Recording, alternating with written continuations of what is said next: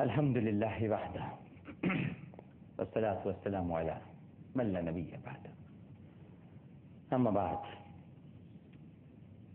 Q television देखने वाले तमाम ही नाजरीन को, पूरी दुनिया में इस वक्त ये ट्रांसमिशन देखी जा रही है, सबको बहुत ही खलूस, अदब और एहतराम के साथ। आमिर लियाकत हुसैन का अस्सलाम वालेकुम। आइए अपनी इसलाह करें। नाजिन इकराम, आज माशा अल्हम्दुलिल्लाह। बारहवा रोज़ा भी अख्ताम पजीर हुआ और अब तेरहवें रोज़े की तरफ़ हम बढ़ चुके हैं। थोड़ी देर के बाद पाकिस्तान के वक्त के मुताबिक रात के बारह बजेंगे और फिर चौदह अगस्त, यानी योम आज़ादी पाकिस्तान के नगमे भी फजा में गूंजने लगेंगे। ये दिन भी गुजर जाएगा और शायद हम फिर वहीं के वहीं खड़े रह जाएँगे। पाकिस्तान हमने बड़ी कुर्बानियों के बाद हासिल किया। और ये अल्लाह सुबहान व ताली ने रमज़ान मुबारक में हमें तोहफा अता फरमाया। अब ये हम पर मुनसर है कि हमने इस तोहफे की किस हद तक कदर करनी है, किस तरह इसकी तज़ीम करनी है और कैसे अपने आप को तब्दील करना है। तब्दीली ज़िंदगी का एक यूँ समझ लीजिए कि तब्दीली और तगैर इंसान की ज़िंदगी का बुनियादी जुज्व है। वक्त के साथ साथ उसमें तब्दीलियाँ भी आती हैं तगैरात से भी गुजरता है। और यकीनन, इंसान के अंदर बस अवकात ऐसे अलग रंग नुमाया हो जाते हैं जो शायद बचपन से उसकी ज़िंदगी में नहीं होते। कभी माहौल बदलता है, कभी हालात बदलते हैं। कभी वाक़यात बदलते हैं और कभी ऐसा भी होता है नाजिन कराम के, इंसान को तो एहसास नहीं होता, लेकिन वो खुद ब खुद अपने अंदर तब्दीली महसूस करने लगता है। बिल्कुल ऐसा ही है कि हम योम आज़ादी मनाने तो जा रहे हैं, लेकिन ये हमें अपने अंदर रहकर वादा करना है या फिर अपने मुल्क की फ़जाओं से वादा करना है। कि हम अपने मुल्क की बेहतरी के लिए, सलामती के लिए, तरक्की के लिए, खुशहाली के लिए और एक बेहतरीन मुसलमान बनते हुए, क्योंकि हम सबसे पहले नाजिन कराम इंसान हैं और फिर मुसलमान हैं। अल्लाह ताला ने बड़ा करम फरमाया कि आपको आज़ादी की नेमत अता फरमा दी। वरना तो आप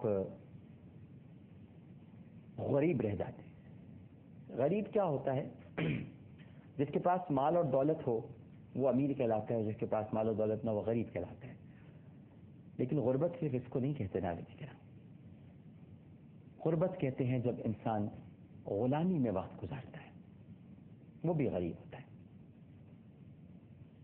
वो भी कभी अमीर नहीं कहलाता गरीब ही तस्वुर किया जाता है। सैदना फारूक आज़म रज़ी अल्लाह तु बड़ा खूबसूरत इर्शाद फरमाते हैं।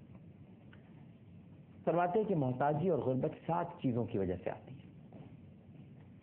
इर्शाद फरमाया कि एक तो जल्दी जल्दी नमाज़ पढ़ने से हमारे यहाँ आजकल आप किसी को नमाज़ पढ़ता हुआ देखें तो उसकी कोशिश होती है कि दीगर उमूर जल्दी निपटा लिए जाएँ आराम से निपटा लिए जाएँ, लेकिन नमाज़ बस जल्दी से पढ़ लें। तो आपने फरमाया कि गुर्बत और महताजी सात चीज़ों की वजह से आती है। एक तो जल्दी जल्दी नमाज़ पढ़ने से खड़े होकर पेशाब करने से, पेशाब करने की जगह पर वज़ू करने से, खड़े होकर पानी पीने से, मुँह से चिराग बुझाने से, ऐसे यूँ करके बुझा देना। इससे भी गुर्बत और मोहताजी आती है। फारूक आज़म रज़ी अल्लाह और, दांत से नाखून काटने से, जिसको हम बिल्कुल, हम इन बातों को बहुत अहमियत नहीं देते। और जब अगर कभी कोई तवज्जो दिलाए तो कहते हैं जी टेंशन में थे तो इसलिए हमने। भाई, टेंशन में थे तो दांत से नाखून काटने की क्या ज़रूरत है? और एक और बात फरमाई कि दामन से या आस्तीन से मुँह साफ़ करने से। अब आप ये सारी सातों बातें अगर देखें तो इसमें अखलाकियात की भी कमी है और शूर की भी आगही नहीं है यहाँ पर। और तीसरी जो अहम तरीन बात है वो ये है कि नबी करीम सल्लल्लाहु अलैहि ने जो तजकिया नफ्स फरमाया है, उससे आप नामलद हैं। मैं फिर दोहराता हूँ तो आप ये सातों बातें गौर कीजिएगा ताकि हम सब की असलाह हो। देखिए जी, जल्दी जल्दी नमाज़ पढ़ना। इसका मतलब शूर की भी कमी है और तस्किया नफ्स नहीं हुआ, क्योंकि नमाज़ ठहर ठहर कर पढ़ी जाती है। नमाज़ बहुत आराम से अदा की जाती है। अल्लाह की बारगाह में तो आपको खड़े होने का मौका मिल रहा है, बड़े खुश नसीब हैं। तो फिर ठहर कर अपना मुद्दा बयान कीजिए, दुआ कीजिए, उसके बाद नमाज़ पढ़ने के बाद। लोग तो बस नमाज़ पढ़ते हैं, सलाम फेरा और दुआ किए बगैर उठ जाते हैं। ये भी कितनी बड़ी ज्यादती है। तो एक तो जल्दी जल्दी नमाज़ नहीं पढ़नी चाहिए, फिर खड़े होकर पेशाब करना।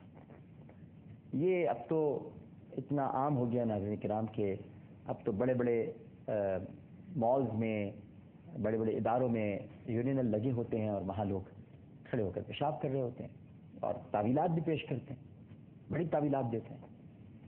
कि नहीं जी, देखिए, बस वक्त नहीं होता और और भी दुनिया में बहुत सारे काम हैं। बस जल्दी जल्दी अरे भाई, सिर्फ़ एक इंसान, यानी एक कब्र पर अजाब ही इस वजह से हुआ कि वो पेशाब के छींटों से नहीं बचता था।